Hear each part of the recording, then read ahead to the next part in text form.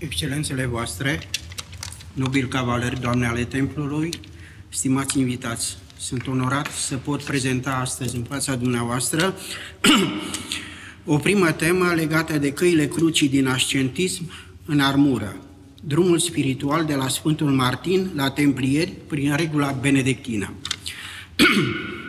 Acest titlu captează esența transformării spirituale și instituționale de la viața de contemplație și rugăciune individuală, caracteristică primilor călugări și asceți, spre o implicare activă și militară a cavalerilor creștini, subliniind totodată importanța pivotală a regulilor monahale în această tranziție.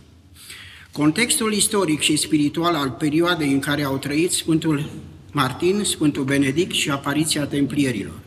Sfântul Martin de Tur a trăit în perioada anilor 316-397,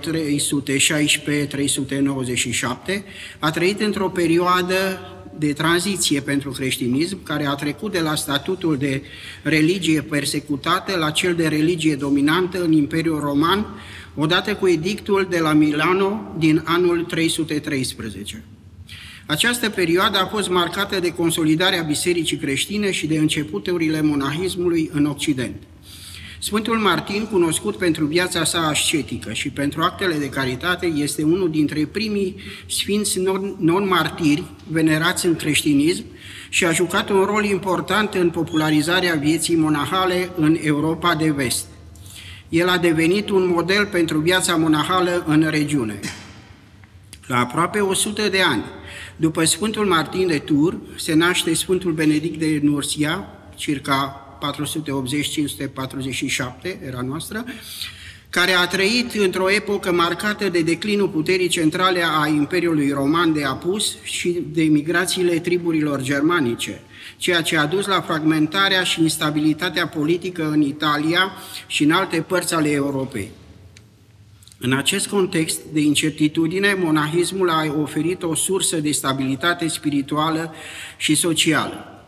Sfântul Benedict, cunoscut pentru regula benedictină, un set de percepte pentru viața monahală, care a pus accent pe echilibrul dintre rugăciune, muncă manuală și lectură spirituală, regula sa a devenit fundamentul organizării vieții monahale în Occident și a avut o influență profundă asupra dezvoltării culturii și educației în evul mediu.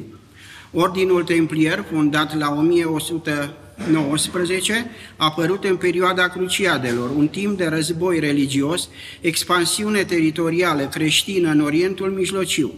După cucerirea Ierusalimului în 1099, pelerinajele creștine în Țara Sfântă au devenit tot mai populare, dar și periculoase din cauza atacurilor asupra pelerinilor. Templierii au fost fondați inițial pentru a proteja acești pelerini, evoluând rapid într-o formă într-o forță militară și financiară semnificativă. Ordinul a combinat idealurile cavalerismului cu cele ale vieții monahale, adoptând o regulă bazată pe principiile benedictine, adaptată de Sfântul Bernard de Clairvaux. Templierii au fost printre primele ordine militare creștine și au avut un rol important în cruciade și în politica europeană a timpului. Remarcăm faptul că în aceste perioade că aceste perioade reflectă evoluția creștinismului de la acea religie persecutată la o forță spirituală și politică dominantă în Europa, evidențiind modul în care spiritualitatea a influențat structurile social-politice și militare ale timpului. Legătura spirituală și influența pe care Sfântul Martin, Sfântul Benedict și prin intermediul Sfântului Bernard de Clairvaux au avut-o asupra dezvoltării ordinelor calvalerești sunt profunde și are mai multe fațete. Aceste figuri au contribuit la modelarea ideologiei și practicilor care au de- definit cavalerismul creștin în evul mediu, creând o punte între ascentismul monahal și etosul militar. Astfel, Sfântul Martin de Tur ne oferă modelul cavalerului creștin. Sfântul Martin, înainte de a deveni un sfânt venerat, a fost soldat în armata romană, fiind ulterior cunoscut pentru renunțarea la viața militară și dedicarea sa față de creștinism. Conversia și actele sale de caritate au devenit legende care au inspirat generații. Sfântul Martin a fost unul dintre primii promotori ai ideii de cavaler creștin prin exemplul său personal de renunțare la violență și dedicare față de slujirea aproapelui și a lui Dumnezeu. Această combinație între curajul fizic și smerenia spirituală a devenit ulterior un ideal pentru cavalerii creștini. Observăm că Sfântul Benedict a generat legătura dintre disciplină și comunitate prin aplicarea unui set de reguli și prin stabilirea principiilor de viață în comunitate, respectiv disciplina, rugăciunea și munca, care au fost adoptate și adaptate de mai multe ordine monahale și cavalerești. Conceptul de stabilitate și dedicarea în slujba unei cauze mai înalte au rezonat puternic cu ordinele cavalerești care au văzut în aceste principii un model de viață. Astfel, etosul benedictin de ordine, dedicare și comunitate a influențat profund structura și regulile ordinelor cavalerești, încurajând dezvoltarea unui spirit de frăție și sacrificiu. Sfântul Bernard de Clairvaux a beneficiat de moștenirea lăsată de către înaintașii săi și a generat ceea ce numim spiritualitatea cavalerismului. Aceasta a fost figura centrală în legitimarea și promovarea ordinelor cavalerești, în special ale, ale templierilor. Scrierile și predicile sale au exaltat cavalerismul ca pe o formă de slujire creștină, combinând uh, fervoarea religioasă cu datoria militară. Bernard a reinterpretat idealurile monahale într-un context cavaleresc, prezentând lupta pentru apărarea credinței și protejarea pelerinilor ca pe un act de devoțiune divină. Prin aceasta, el a creat o viziune spirituală care a încurajat nașterea și dezvoltarea ordinelor cavalerești, oferindu-le o bază ideologică și spirituală solidă. Templierii, ca ordin cavaleresc, au reîncarnat idealurile promovate de Sfântul Martin, Sfântul Benedict și Sfântul Bernard, combinând disciplina monahală cu datoria militară. Crearea acestor cavaleri ai lui Hristos a fost direct influențată de această sinteză spirituală în care lupta armată și dedicarea față de protejarea credinței și a creștinilor erau văzute ca forme supreme de slujire religioasă. Pe baza acestor fapte, putem spune că legătura spirituală și influența acestor figuri asupra dezvoltării ordinelor cavalerești evidențiază o evoluție a înțelegerii rolului credinței în viața și acțiunile individuale, de la ascentismul personal la slujire activă în lume sub steagul crucii. Aceste influențe au modelat în mod decisiv etosul cavalerismului medieval, punând bazele pentru o tradiție care a combinat crești, credința cu acțiunea, spiritualitatea și cu lupta, ă, lupta armată. Dacă citim învățăturile Sfântului Martin, vom vedea rolul său în promovarea monahismului și a vieții de ascentism. Este una dintre cele mai remarcabile și venerate figuri din istoria creștinismului timpuriu medieval, el s-a născut în Panonia, într-o familie păgână. Martin a fost introdus în viața militară de tânăr, urmând cariera tatălui său în armata romană. Sfântul Martin a fost ales episcop de Tur în anul 371, dar în ciuda noii sale poziții a continuat să trăiască conform principiilor ascetice. Învățăturile și viața Sfântului Martin s-au concentrat pe iubirea și mila față de săraci, de pacifism și practicarea ascetismului ca mijloc de apropiere de Dumnezeu. A fost unul dintre primii sfinți non-martiri venerați de Biserica creștină și moștenirea sa spirituală a influențat profund dezvoltarea monahismului occidental. Valorile promovate de Sfântul Martin au fost preluate și dezvoltate ulterior de figura emblematică a monahismului occidental, Sfântul Benedict de Nursia. Regula Sfântului Benedict, scrisă în jurul anului 540 pentru mănăstirea pe care a fondat-o la Monte Cassino, în Italia, a devenit una, unul dintre cele mai influente documente în dezvoltarea monahismului creștin occidental.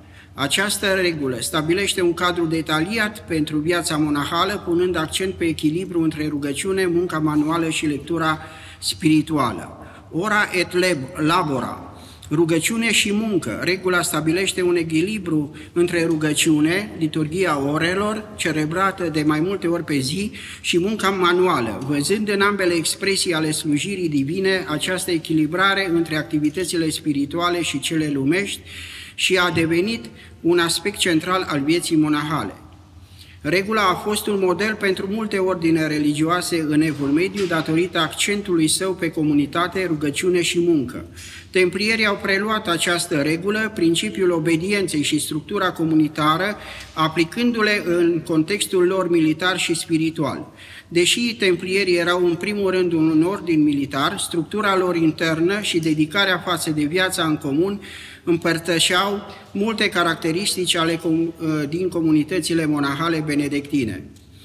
Sfântul Bernard de Clairvaux a fost o figură proeminentă a secolului al XII-lea, a avut un rol decisiv în sintetizarea idealurilor monahale cu cele ale cavalerismului, promovând astfel un model, un model de cavaler creștin care combină devotamentul religios cu curajul militar. Bernard a văzut în cavalerism o cale de a sluji creștinismul, nu doar prin forță fizică, ci și prin forță spirituală.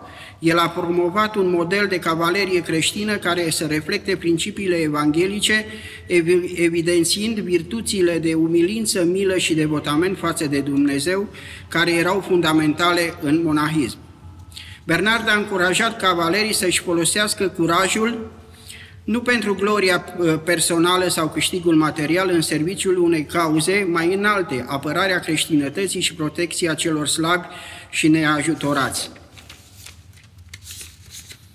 Regula templierilor, influențată de principiile benedictine și de spiritualitatea bernardină, a creat un cadru unic pentru ordin în care viața ascetică și dedicarea față de serviciu militar se împleteau. Cavalerii templieri au reprezentat o încorporare a monahismului cavalerismului, urmărind să trăiască în lume ca monahi luptători, dedicându-se atât vieții spirituale cât și protecției pelerinilor și apărării țării sfinte. Aceștia au prezentat o încorporare unică și inovatoare a monahismului și cavalerismului și au avut un impact profund asupra dezvoltării ulterioare a ordinelor militare creștine, cât și asupra imaginii cavalerismului în cultura europeană. Templierii ca monahi luptători au adoptat principii stricte de viață care reflectau atât regula Sfântului Benedict, cât și influențele spirituale ale lui Bernard de Clairvaux. Ei au luat voturi de sărăcie, castitate și obediență, trăind în comunități organizate după modelul mănăstiresc. Această structură le-a permis să mențină o viață de rugăciune și meditație, participând la liturghii zilnice și dedicând timp lecturii spirituale și contemplației. În calitate de monahi luptători, templierii au împletit în mod unic rolurile spirituale și militare. Ei au văzut lupta împotriva inamicilor creștinismului nu doar ca pe o obligație militară, ci ca pe o formă de martiraj și sacrificiu spiritual. Această perspectivă a făcut ca templierii să fie văzuți ca apărători ai credinței, care își riscă viețile pentru glorie și sau nu pentru glorie sau câștig pământesc, ci pentru recompensele spirituale promise de credința lor. Pe măsură ce cavalerismul a început să capete o dimensiune spirituală în contextul cruciadelor, idealurile monahale de disciplină, dedicare și serviciu au fost adoptate, adaptate la nevoile și realitățile vieții militare. Ordinele cavalerești, în special templierii, au incorporat aceste valori în structurile lor, creând un nou tip de comunitate care combină rugăciunea și acțiunea militară.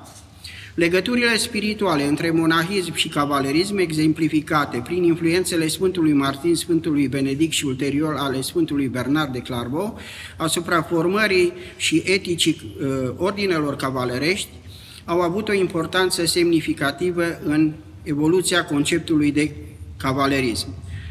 Crearea ordinelor militare religioase a reprezentat o inovație semnificativă în structura socială militară a Europei medievale. Acestea combinau structura monahală și cu organizarea militară, creând entități care simultan, uh, simultan puternice spiritual, militar și economic. Impactul lor asupra societății medievale a fost imens, influențând politicile interne și externe ale statelor creștine. Prin promovarea unui cod cavaleresc bazat pe valorile creștine, ă, ă, legăturile spirituale dintre monahism și ă, cavalerism au contribuit la instituționalizarea unor practici menite să limiteze violența și să promoveze pacea. În concluzie, legătura dintre Sfântul Martin, Sfântul Benedict, Sfântul Bernard și cavalerii templieri rezidă din integrarea spiritualității monahale în etosul cavalerismului care a avut un impact profund și durabil asupra Europei medievale – remodelând nu doar identitatea și comportamentul cavalerilor, dar și structura socială, politică și religioasă a continentului. Această sinteză între viața spirituală și cea militară a creat un model de cavalerism creștin care a influențat profund cultura, istoria și spiritualitatea europeană, lăsând o moștenire care continuă. Astfel, se evidențiază în mod clar și detaliat legătura dintre Sfântul Martin, monahismul benedictin și evoluția spirituală care a dus la apariția și codificarea principiilor templierilor și la o înțelegere profundă a modului în care spiritualitatea creștină a influențat și a fost modelată de mișcările monahale și cavalerești. Am onoarea să vă salut și dacă sunt ceva întrebări și pot să răspund, vă mulțumesc. matemática desencantada.